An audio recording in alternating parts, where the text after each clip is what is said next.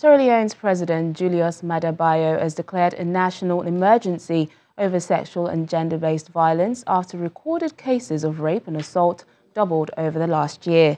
He announced the emergency amid a public outcry over the issue triggered by a series of high-profile attacks. Mr. Bio said attacks on minors, which account for a third of all cases, would be punished with a life sentence, as activists say many assaults are not punished under current laws. According to police figures, more than 8,500 cases were recorded last year, a rise of nearly 4,000 on the figure from the previous year in a country of 7.5 million people.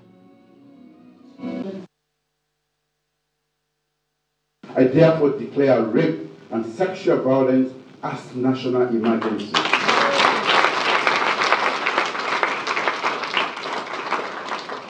With this declaration, I've also directed the following.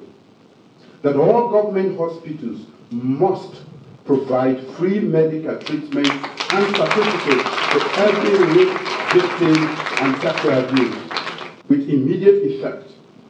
Sexual penetration of minors is punishable by life imprisonment